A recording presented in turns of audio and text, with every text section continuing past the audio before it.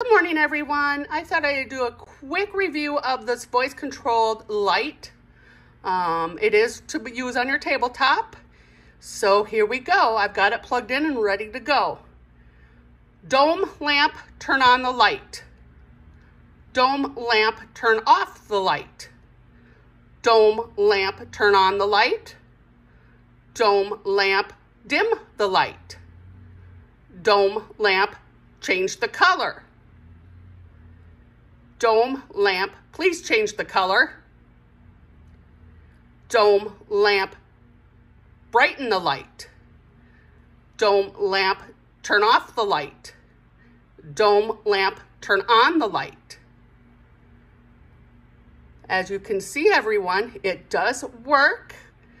Um, yeah, for a buck 25, it'd be a good, uh, like, little light by your uh, bedside table so you can read at night.